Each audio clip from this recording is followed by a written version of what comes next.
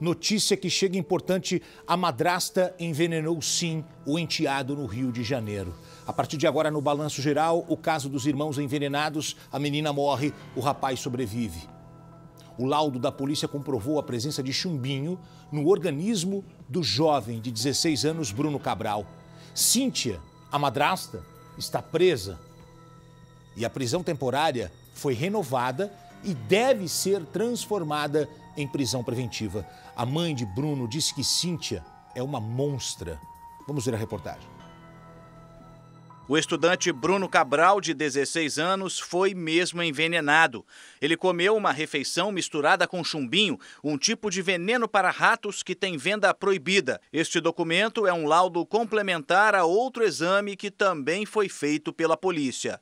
O perito fez um exame complementar ao laudo do garoto, da vítima, e ele conclui de forma insofismável e categoricamente que sim houve uma lesão ali causada por intoxicação exógena utilizando o carbamato, que é conhecido como chumbinho. Com a confirmação de que Bruno foi envenenado, a polícia decidiu reunir no mesmo inquérito a investigação que apura a morte da irmã dele, Fernanda Cabral, cujo corpo foi exumado há quase um mês.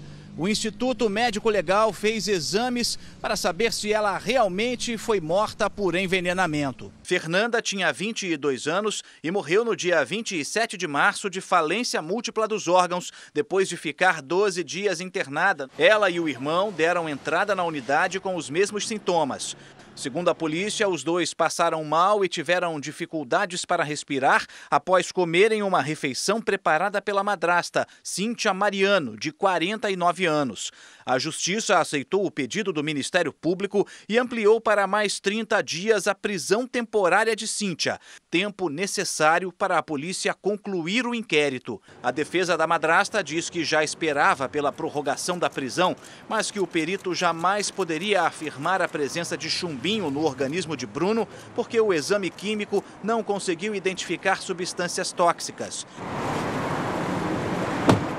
Os advogados afirmam que tudo não passa de uma presunção ou ilação, mas, segundo o delegado, o novo laudo do IML complementa o exame anterior e os depoimentos das testemunhas são suficientes para confirmar que a madrasta tentou matar o enteado. Os depoimentos foram colhidos inicialmente, são muito contundentes, são muito convergentes em apontar a autoria por parte de Cíntia.